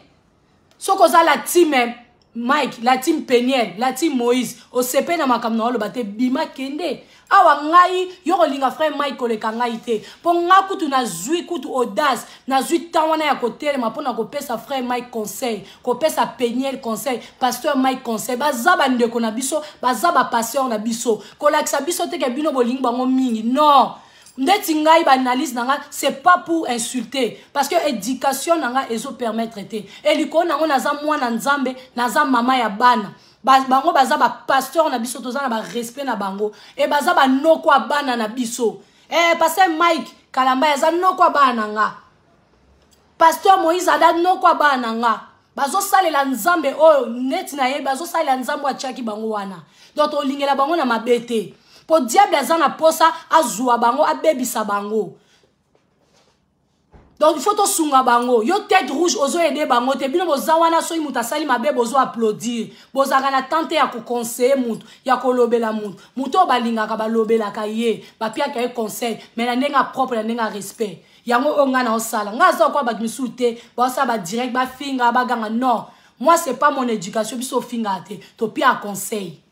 mpo baza bana nzambe baza baserviteur mibali oyo tovandi na bango na ndako baza kaka lokola bafrère mike nzambe mpe atalaka bango kaka mpe lokola baserviteur de dieu mpo nzambe atalaka biso nyonso baserviteur mpo toza na mission makasi na sa mokili oyo nzambe apesa moto na moto mission eza kaka totelema obanda koganga yo oh, jésus krist boye te kaka ndenge na osala boye mission ya nzambe yango oyo e toza na mibali oyo mpe baza mibali donc topesaka bango conseil donc tokoya mpe mpe topesa bafrère mai conseil mpo baya mpe kaka mibali biso toya basi totika makambo oyo koexpose ko bana eza mabe soki bana bazwi problème tokozongela bino toboyi bongo peniel calme toi peniel calme toi naboyi te olobi bana bazosimbasimba bana peniel alobi ke bana na ye bautaki na maboko ya, ya frère mike lere azwi bana aremarke soki azosokola bana yaya oyo ya liboso shadai azolinga te basimba ye na zizi mama soki moto azosokola mbongana okosimba kaka na zizi okosimba te yo mpo okajola yango mpo obenda yango ndenge bato misusu balobaka o oh, nazobenda mwana nasisaka na mwana mpo mwana eya monene bongo eza mabe bamama oyo bosalaka bongo o oh, nabenda ye mpo eya monene nono wana eza kindoki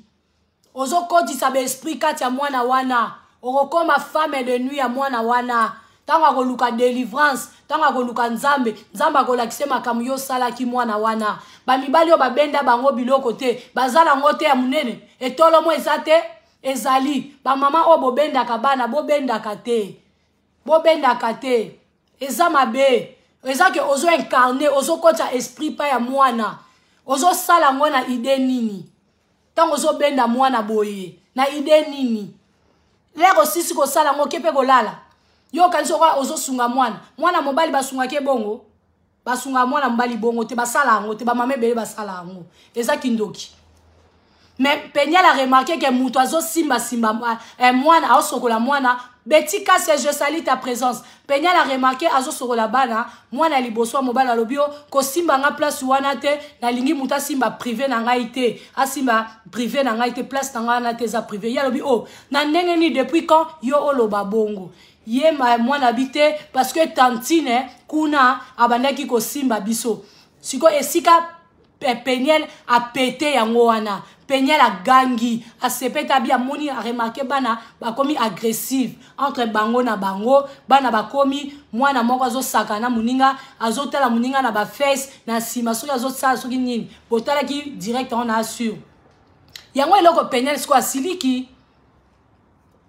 mais siko peniel soki kosilika nayebi te okokaki mpe kosilikela na tele te ya peniel yaya peniel leki na nga mwana na biso mupenya mwasi kitoko leki na biso mayele nalobi boye likambo ya bongo basilikaka na réseau sociaux te yaya okozwela yango bato ebele te bato bakosepela na yo te bayebi ke ozodefendre bana me oke na yango na ndenge mabe pasteur aza pasteur aza frère aza bo, bo tonton aza boga aza na charisme aza na bakalite ebele ya basi mingi balukaka aza na bapublike ebele aza na bafanatike ebele koleka yo ntango ozoya, ozoya na makambo ya bongo bato ebele baokotelo te oza na yo na mayele osali bien mais oye nango na réseau sociaux esali mabe ifale obenga papa na telefone oyo ifale oyebisa bamama na ndako babenga ye batuna ye qu'est ce qui s'est passé avec les enfants bosololi yango nde yo ye nango na tele dine part oexpose mpe bana osololi mabe makasi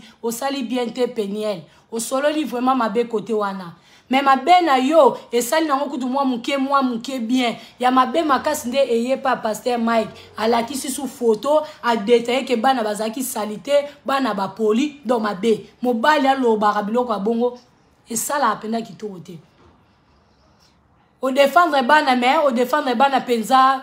defendre bana bundela bana mpo oza na droit fo bundela bana na yo mpo mama ya papa mike na papa mpe kuna baobundela frère mike yo mpe bamama kuna na poto kuna na soki na dallas il faut babundela yo ntina suka mpo oza bacharge na bango ata ozosala petage oza kaka mwana mwana atikalaka kaka mwana il faut basilisa na yo il faut bakotelaka yo mpo namoni kote mosusu olobi ke mama na bino azoloba ke peniel ozobakisa bamungwa na pilipili na makambo yango libala ezalaka kaka bwebwebwe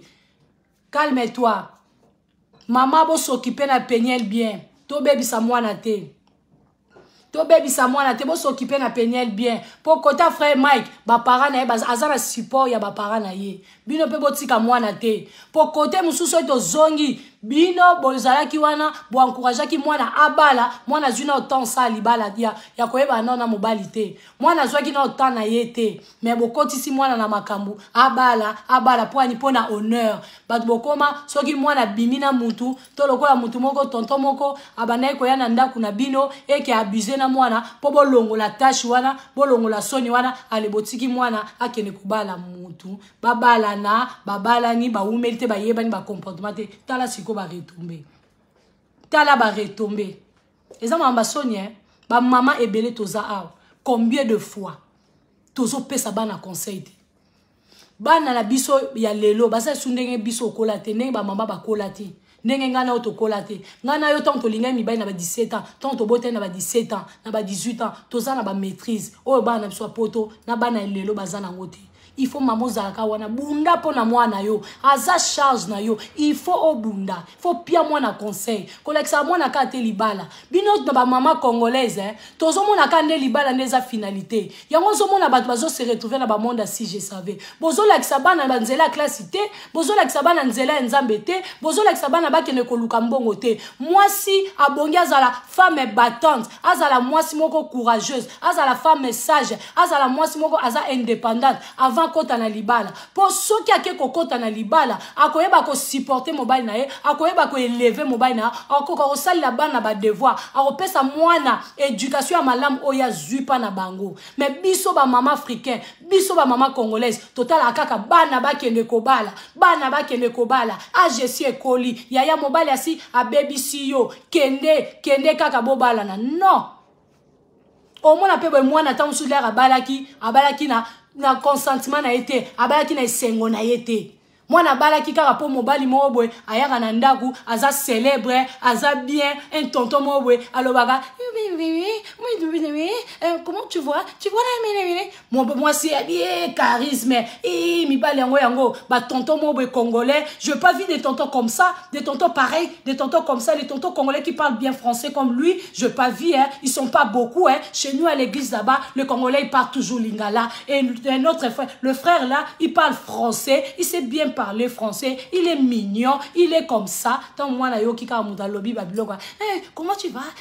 Eh, ça va amona ii aza na batendresse aza na bacharisme aza na nini mwana akweyaki mais mwana azalaki oblige kobala te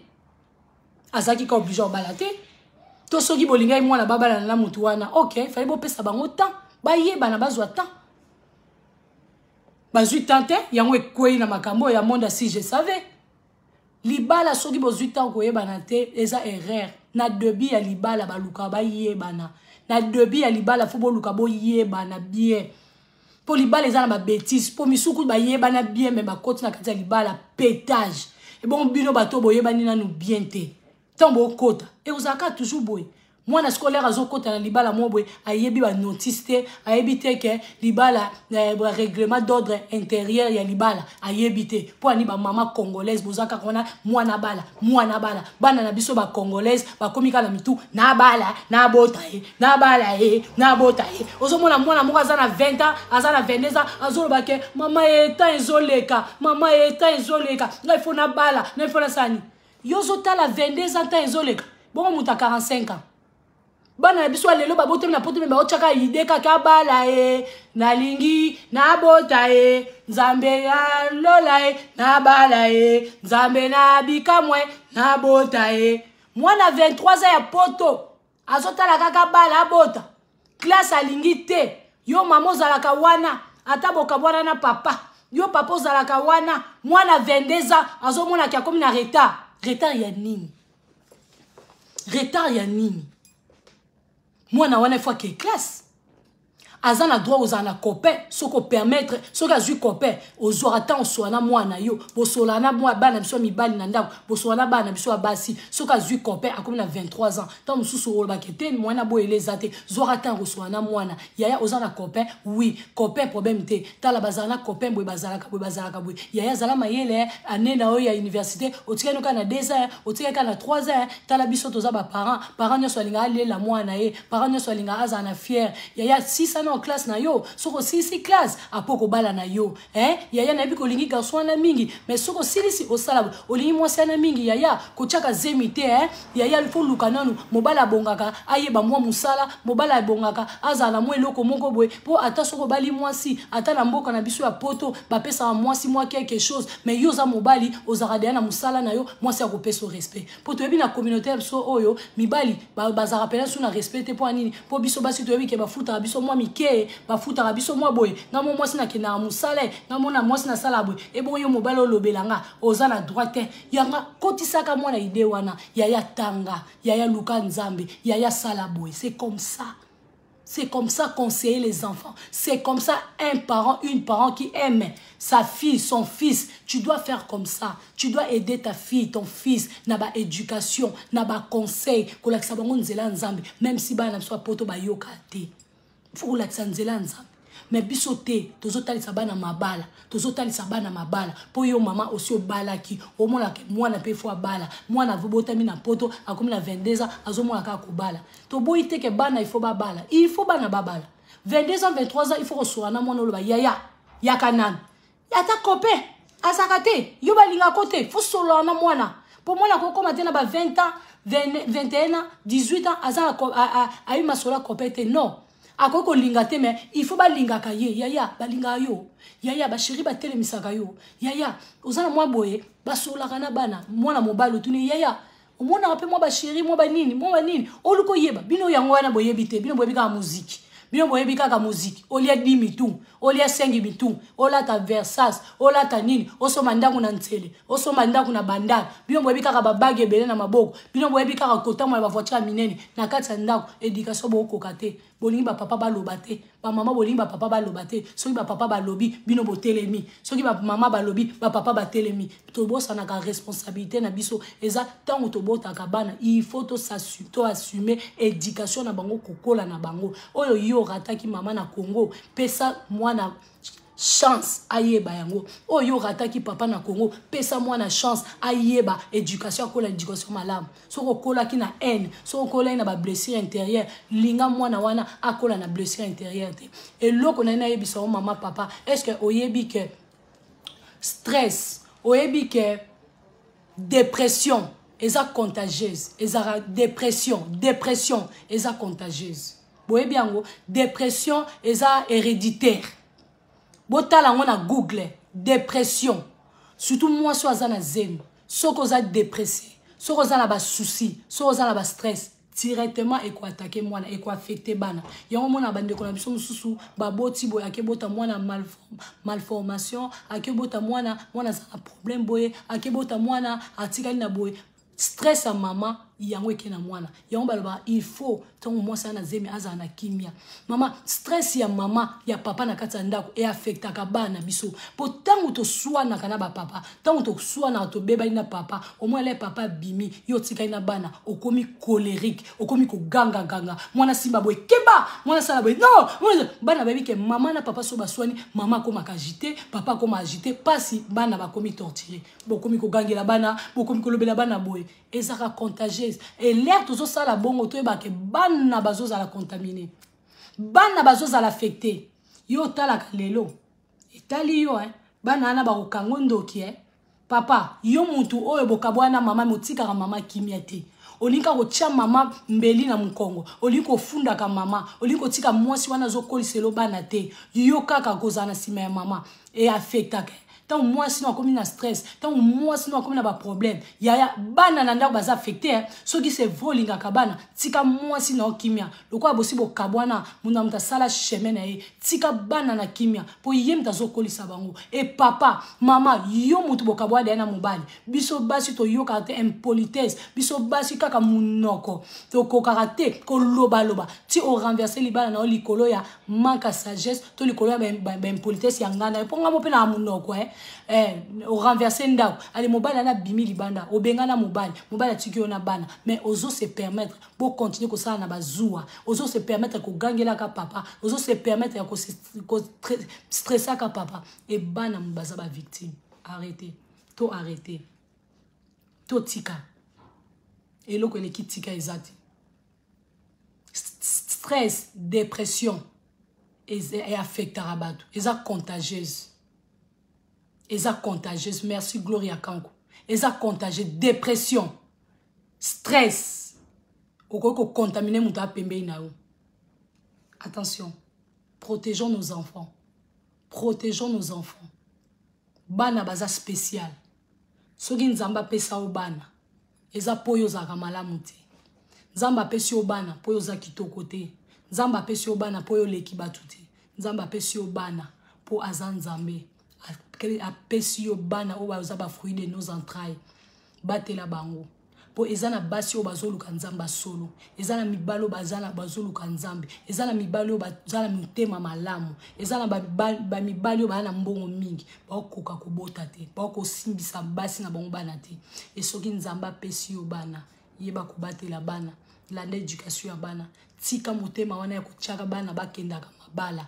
bana poto bazaka na mposa kokende mabala te tokokende mabala kokende mabala soki ntango na bango ekoki conseille mwana yebisa mwana ke na age oyo okoki kokende libala me yaya asilisa classe yaya kende mosala yaya luka mbongo mwana mobali luka mbongo kende mosala sala baformation mwasi abongaka azala mwasi ya bagage mobali abonga azala na bagage ntango oye na ndako mwasi na oya na 1 yo mpo oye na 1 bosali 2 bokomi kotonga bokomi kosala makambo ya minene bokomi kosala makambo na bino bozala kwa biso na papa te biso na papa todebuye na biso toutaki na biso congo ya moluka tokutana na biso awa ya moluka bino bobotami awa boza na bagrace yaya bobotami na poto bosalela kipoto otalisa yaya bino bwana na bavalere eh. yaya yo fo sunga biso e eh. soki nzambe apamboli yo yango wana se comme ça tozaka wana te totinda bana bakende kobala bana bakende kobota bana bakende mwana na yo mpe soki abali mwana na yo mpe soki aboti korejete ye te solola na mwana solola na ye yango eloko peniel azotraverse na sur ke to comprendre merci beaucoup yango peniel azotraverse soki oyina peniel koyina ye te bo encadre ye bamama baencadre ye bapesi conseil soki oyinaki frère mike bana mibali totiki bino charge ya frère mike bozongisa ye na nzela basali na nzambe baza pembeni bazongisa ye bayebisa ye ke mama bana bafingaka ye na réseau sociaux te bafingaka te me bayaka koexpose bana na réseau sociaux te olakisa biso foto ya bana kotala lelo te tala yango apres mikolo ekoya moto akosilisa na ye eza zawadi zawadi aza kwa toloba kwa makango aza shira libanda me mai eh, peniel aza mare ya bapetit aza mama bana eh, bobota na ye boza na bilembo boza na eloko moko ekolie bino a vie toute votre vie ti mokolo nzambe akozonga wana eloko eolie bino donc fo bozala na respect bino mibale e likolo na yango boza bahomme na bafemme publique donc boza na badroit ya koprotege bana wana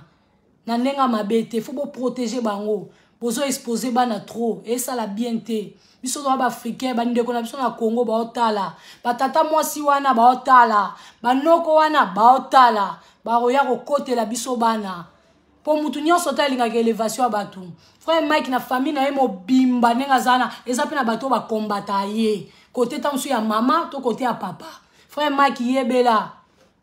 yebela oza mosali na nzambe oza mobali okoma mpe komonana mwa quelque chose bato nyonso te na libota na yo balingaka yo koexpose bana te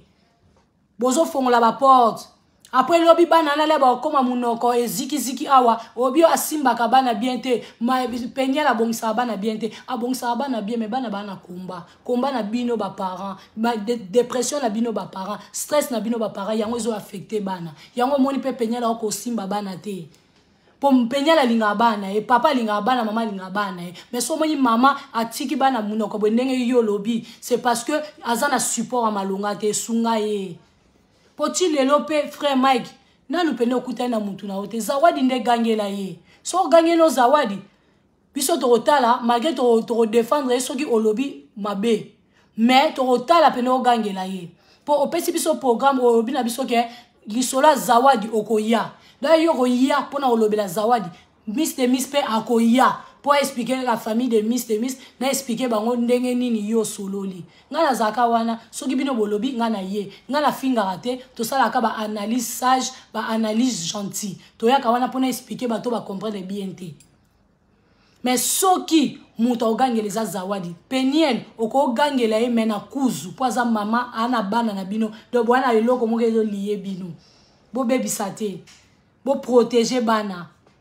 bana baokola baotuna bino makambo soki bakoti na echec bana wana soki bakomi kaka na maboko ya leta bana wana soki baplace bango mpo bosambaka deja mpo na bana wana soki baplace kaka bana wana bana wana vi na bango baolinga bino te mpo baomona makambo nyonso eleki na réseau sociaux ndenge bomati bango bokiti bango nde bosali boye bosali boye bana na baokondane bino baolinga bino mingi te biso mpe towana bafamille towana baproblème na bana na biso towana baproblème na mibali na biso mai toyaka na bana na biso na tv te mpo toloba bolanda babase internet te silaka base internet esilaka ezaka éternel te esilaka na biso bacomportement ebebi réputation ebebi ma internet etikali ti mokolo nzambe moko aoya bosala su bongo te papa kosala su bongo te pene so azopete yo kopete te kosala yango te voilà yoyoka moto abi akoporte bino plainte yoyoka bandeko babi bakoporte bino plainte ezala na moto mosusu akozwa dossier na yo simbe ake kofunda yo kuna ake kofunda bino nde bosala bana eza mabe eza kitoko te Voilà bozala bien frère Mike na pasteur Moïse Mbiye frère Mike alobi ke akozongela likambo ya dossier ya pasteur Moïse Mbiye akozonga soki azongi la vôtre pe azongi mais nazo encourager te to continuer osala makambo corps de Christ ezobeba bokwesa bana nzambe bozoyokisa komwa nzambe soni ngai naza na mposa te papa mike ozonga mpo olobela paster moïse en publique kosala yango te s'il vous plaît protégez biso bana nzambe soki bino boyebi makambo bosala problème eza te mais biso baoyo totalaka bino toyokaka miziki na bino nzambe asalela biso à travers miziki na bino s'il vous plaît soki boza na mposa ya korespecte nzambe te borespecte ata biso bato totalaka bino tosombaka miziki na bino biso bato togangaka ntango tomonaka bino biso bato tokwea borespecte ata biso biso toya baparent na ndenge na biso koloba yango te papa bato baza pembeni na bino baencadre koya koloba te soki oza na problème kobomba te solola na baancien boza bino nyonso bana cité betel bana nzambe biso na biso tokomi kobunda boye papa biso na biso biso toyebi ke basi mi bazala bato ya barankine mais rando ekomi sikoyo bapaster entre bango na bango rando, rando, rando pastoral rando pastoral ekoti mpena na bana nzambe eh, mpo ani bozokisa komwa nzambe na biso soni ko papa mpo na nini bozokisa nzambe na biso soni nzambe azosalela bato makambo ebele nzambe azosala makambo minene na bavie ya bato ebele bato mosusu baza sensible koyoka bino basali na nzambe bozosala makambo ya boye quelque soit boza bato boza mpe bahumain bokweyaka na boyi te me bokomi kolekisa bokomi kodeborde bokomi kolekisa biso bana nzambe mpe totelemi tolobi non toboyi bongo toboyi na biso toboyi tozoluka nzambe tozoluka badelivrance malembe malembe botika biso pardon bokweyisa biso te bokomi yo la time mai kalambai la time moïse mbie time peniel time zawadi non c'est pas comme ça toza time moko time na biso eza nzambe esili botika kokabolakabola biso ekomi bato ya mai kayamba iso balobi boye bato ya moïse batelemi non c'est pas comme ça totiki makambo na wenge muzika totiki makambo mpo bakofi olomide toyei nango kati na nzambe mais donc oyo balobaki ke soki oluki mokili oyo komona yango kati na yesu na yesu omoni mokili eza desordre eza petage ça fait trop mal ça fait trop mal s'il vous plaît bapapa nayebi ke conseil oyo ka nde nabwakami ka boye botala ata fille moko ya propre boye ya kitoko boye aoloba soki babike bino boyokaka te me botala ata mwa fille moko boye oyo mpe nakoleka mpe boye na ville omoni nga mpe otemisi mpe voiture olobi mpe ke ma sœur bonjour ça va nga mpe na bino ça va papa kasi moyokela nga ti biso basi so tolobi bapapa bayokaka makambo oyo bosala eza makambo ya basi basala yango papa boza na bato ebele na nsima na bino s'il vous plaît borespecte biso boza banoko ya bana borespecte mpe mibali na biso soki toyebake basali na nzambe ya malonga ya solo baza te bazali me bino baki bofaire croire biso ke basali na nzambe ya malonga baza te alors ke bazali bino mpe boza bana nzambe botika biloko wana papa s'il vous plaît boza na mposa koteya bato liloba nzambe boza na mposa kobwakela bato bajeton te tolembi yango tolembi ngai ekomi mpona yana ya kolobela basujet na bino ekomi osala ngai okola mabe bato bakotunake bino bowana makambo so oloba te bolobelaka bango bato bakoma otuna biso bino bowana makambo so nga komino balobeli nga yango te mpo bayebi ke nga alobaka na nga bien me namonaka na bato biso bino bowana makambo te na bafamille na bino mpo nga apiaka na nga conseil toza na makambo na bafamille na biso me toyaka nango na internet te ke tofinga boyeboye bozala bien toza biso nyonso bato mais bino boza liboso batia bino liboso bopesa biso encadrement ya bien soki ntango mosusu makambo ya nzambe mikolo bokoki yango te bokoka yango te eloko eleki tika eza te okotika mpo okoti priere otiki bato misusu bakamba ezalaka mpe bongo makambo ya nzambe mpe ya bopo makambo ya nzambe ya facile te makambo ya nzambe ya mpasi makambo ya nzambe ezalaka mpasi koleka makambo nyonso mpo oza atake oza atake na yo moko na famille oza atake na basentiment na yo moko etanke humain oza atake na bato ya mokili soki mikolo wana ozokoka te bakotaka prière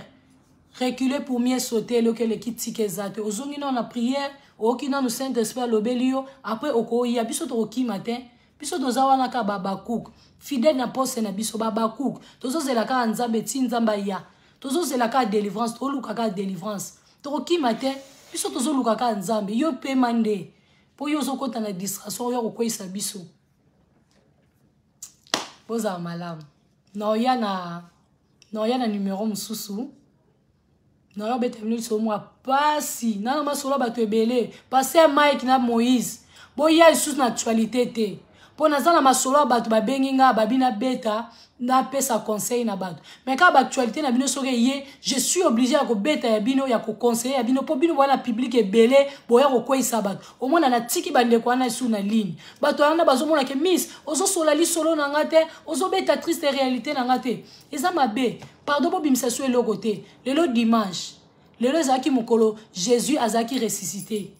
bato ebele kuyi basambeli bien te tosalaka repentance biso nyonso semaine tobanda tolingi su makambo te toclotire actualité oyo oh, lelo dimanche toclotire bino bopema bato misusu baya bato ya nzambe te nde boloba bato ya mokili botika nao bakofi babina file baya na makambo na bango tolanda nao makambo na bango botika nao oyo ya bino botika peniel peniel tika paster mike respecte ye zala bien ozwa mobali mosusu soki mpe esimbi te paster mike tilo mpe na aboti te na nabali te nde toomona na miso ya bomoto boye paster mike peniel aza mwasi oyo olingaki na fleur d'age zongela na peniel soki bozongani esala eloko te libala mosusu ekobeba mpe bozongani ezalaka nango mabala na biso mingi mpe ebebaka tozongani eza mama soni te ezala kutu témoignage makasi ezala kutu témoignage ezala kutu kitoko soki bomoni ke bolingo eza kaka bozongana bozongana bosala bobatela bana boencadre bana bobota su bana misusu omona tokoya wana bokokoma baparein na bamaraine na biso bomona bato bakoya so eglize ebele mpo boya na témoignage mpo soki oza na témoignage te okokoka kosalela nzambe te fo ozala na témoignage mpo ntango ozopesa batémoignage na bato nde bana nzambe bazoya mpo oza na témoignage me bino soki bozosalaka makambo yango boye mabe sikoyo frère mike makambo nyonso oyo ozosala mpasi na yango moto akosibi mwasi oyo yo kolinga ya mibale mwasi oyo yo kosengage na vie aza na komba makasi mpo aza na komba bato bakotelemela ye bakotelemela ye na makambo oyo nyonso bino bosali na réseau sociaux na bapeniel fille wana lere oye fo aza mpena fille moko ya makasi e mpo akoya kokutana na makambo oyo ezozele na réseau sociaux fo aza mpena fille moko ya esprit aza mpena ya nzambe aza mpena fille moko alenda mpo makambo oyo bino botiki ah soki botiki yango te eyoza mabe bozala bien nzambe abatela biso koloba esilaka te me toloba ndambu tobomba ndambu mpo ezala bien bandeko nyonso bopase bamoment difficile nzambe asiste biso nyonso nzambe apesa biso makasi nzambe azala na biso totika nzambe te mpo toa na muntu te biso nyonso toyaka bato nzambe asiste biso nyonso apesa biso makasi nzambe abatela biso nyonso bozala bien bozala bien biso nyonso toza bato tozobundabunda kaka na balavi yango moto mosusu azobunda kota libala moto mosusu azobunda na vie ya commerce donc tobunda nzambe asiste biso semaine malamu na bino nyonso moi je vous aime soki nano osabona na miss de miss tv te naza na chaîne youtube na biso ya miss de miss tv tv gentiment na respect kende kosabone na miss de miss tv kaka nde bakomi nkombo na ngai bakisa te na v sabone soki na oaime page oyo te aime page moi je vous aime aime page ya oyo place tozali aime yaka na tiktok tiktok naza na nkombo ya miss de miss 1 miss de miss 1 naza na tiktok naza mpe na instagram au nom de miss de miss tokabola batriste réalité topesana baconseil Que Dieu bénisse tout le monde, que Dieu vous assiste. Zama renouveler intelligence, sagesse. Tous à ba femme fort, ba homme fort, ba battante, ba ba ba mi bali penza, ba un bon tonton. Voilà. Tout débrouiller, tout louka, tout ça ba entreprise à minene, tout comme bato à malonga, tout tika ba rankine à mike mike à mabala, mabala, tout tika ba biloko ya pam pam ba eza bien dit. Semaine malamu na biso nyonso, na koya na li solo mususu, triste réalité. Mpo esala bandeko nyonso malamu sur la vôtre Miss de Miss Nancy la cocotte, la grande sœur de Tania Lor Mokoko. Je salue la présence de tout le monde. Toza na deux ans ya page na biso page oyo place toza tosala deux ans nango na fin ya mois oyo ya avril ekokisa deux ans tosala fete naosala en direct naosala fete tokosouffle bagato towana mwa bacado tokokabola toza na chaîne youtube na biso mpe ekokisa deux ans yo oza le 27 ya mwa oyo donc tosala directement spécial so oza mposa na dedie yo numéro ya page ezalaka wana à partir ya ba le 25 bwaka nkombo na yo s'abonne partout aime partout yaka tokoma la famille anga abengaka bino baabonne te bafane te nabengaka bino la famille de miss de miss voilà boza ma famille ya mwa tokabolaka ah moto aleki moto aza te yo obakiseli nga conseil nga mpe nabakiseli yo conseil voilà ya mabe obwaki ya malamu oyo nalobaka ozwi c'est comme ça la vie to vivre bien voilà bozala bien na oya lisusu tocontinue osola voilà frère mike nalingi yo mingi papa na nga paster moïse mbiye nalingi yo na bolingo ya nzambe peniel je t'aime na bolingo ya nzambe tobongisa bacomportement na biso mpo biso mpe baoyo toza na babétise na biso toza na bapetage na biso tobombaka yango toyaka na yango te tofingaka na réseau sociaux bolanda biso te babase internet esilaka mais réputation ya moto baprotégea mpe babatela yango voilà feli ya se enfant béni que dieu vous bénisse tous allez bisous bye